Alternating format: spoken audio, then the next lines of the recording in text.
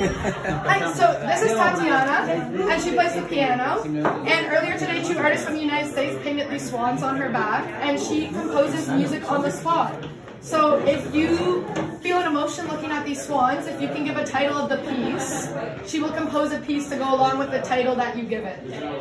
So if you want a little 360 moment here, see in the back, yeah? You think of anything? Please, somebody yell out. The light of the swan? Huh? The lake, the lake of the swan? The leg of a swan? Yes. The leg of a swan. Does that work? You got it? All right.